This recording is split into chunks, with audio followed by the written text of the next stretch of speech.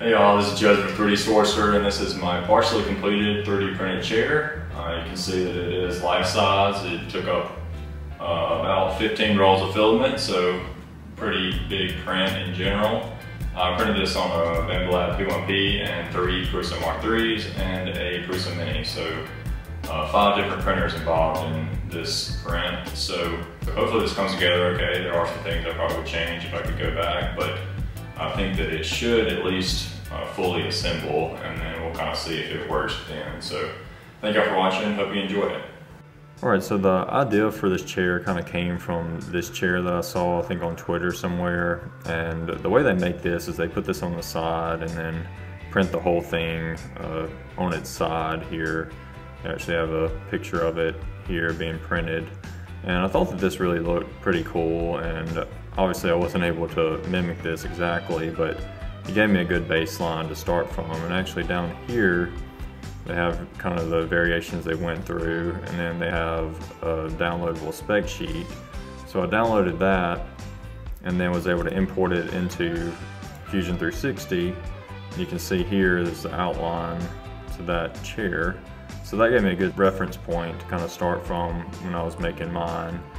So I basically used that for sizing guidelines. So you can see that it matches it pretty closely. Some of the changes I made was because the uh, sweep that I did to make this shape wouldn't exactly fit some of these tight angles here. So I had to change that up a little bit and just make it easier to print for a bunch of smaller printers. So here's the path that I made to sweep along there. You can see in the blue. And then this is the actual uh, profile that I made to sweep. And I originally was going to add some holes because I thought that would kind of look cool, but ended up uh, just changing it to a smooth surface like it's shown. And then some other things I did, uh, obviously I don't have that big printer, so I had to cut them up into smaller pieces. So this is where I did that. And then all these holes also made a grid pattern where I could make it into boxes, which were printable on the Prusas. And I had, you know, a couple Prusas, so I was able to do a couple of these at a time. And uh, that's pretty much how I did it. There's a couple of other steps in there, but I don't want to belabor the point too much. One thing that I did do that I thought was pretty clever was as I printed stuff off, I would change the color of it to gold. And then once it was printed fully, I would change that one to green. So whichever one I was printing, I would change it to gold. And that way I could just keep up with like what I needed to print or what was already printed, and what wasn't printed, because I didn't want to go through and rename all the different bodies and stuff.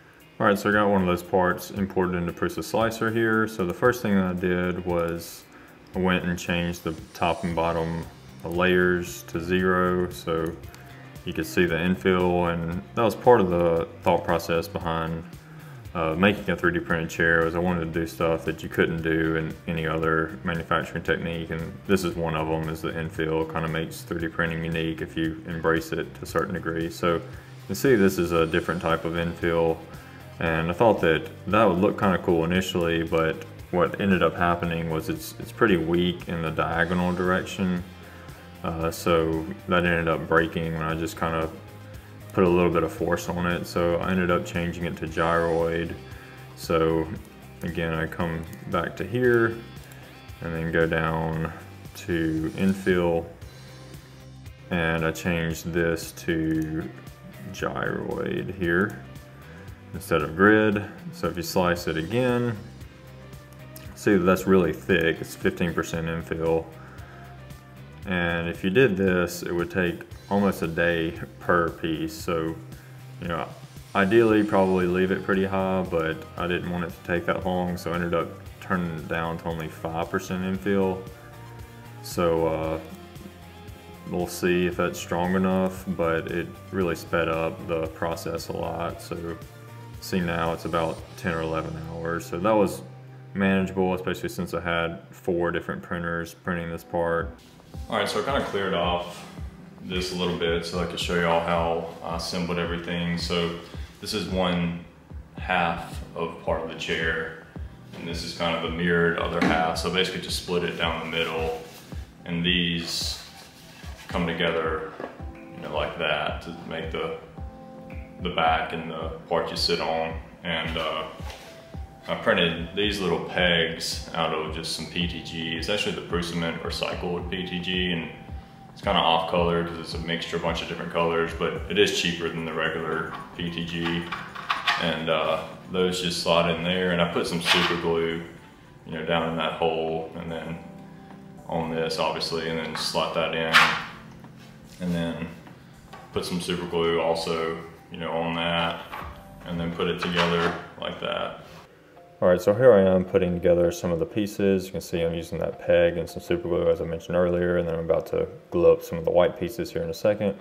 One thing I would do differently if I had to do this over again would be to use a hexagon peg instead of a circular peg.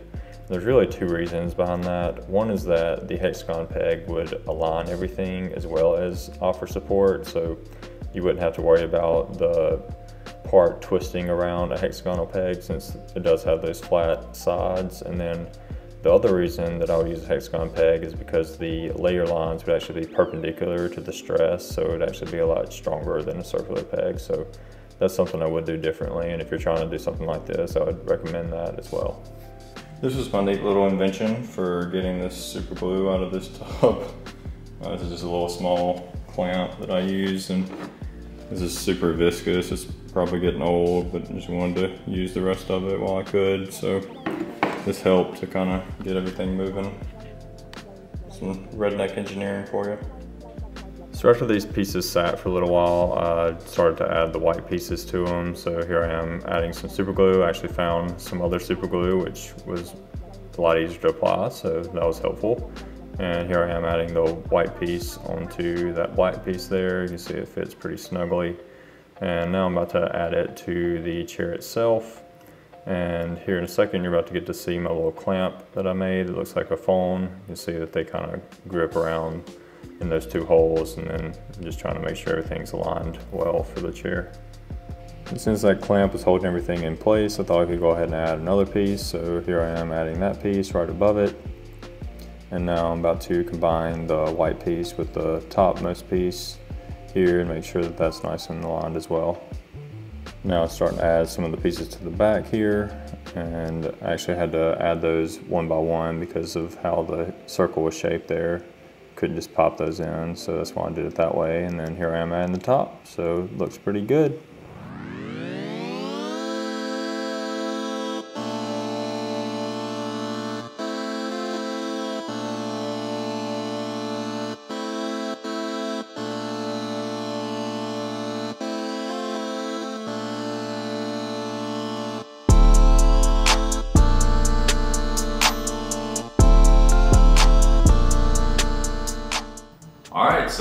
Glued up. You can see here that it's assembled all the way now and I'm going to try to sit in it and hopefully it doesn't break. So let's see what happens.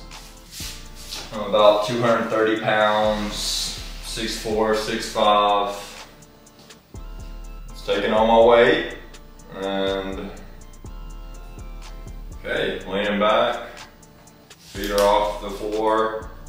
So it's 230 pounds, kind of creaking a little bit, but uh, still staying together okay. And this is, you know, about how I would normally sit. I'm not going to push back because the glue probably hasn't dried all the way yet. It hasn't been 24 hours, but uh, overall pretty happy with it. Uh, you know, never done anything like this before, so this is my first attempt, and I think it turned out pretty pretty good overall. Uh, I think that there's a lot of things I would do differently if I did another one. So if y'all would like to see that and this and if this video gets enough views and we get a filament uh, sponsor or something, I'd consider doing another one because this was pretty expensive just because of all the filament, but uh, it was pretty fun too. So it was cool to actually make some type of chair and be able to actually sit in it. So especially from a just regular size 3D printers. So if y'all enjoyed this, please hit the like and subscribe. Uh,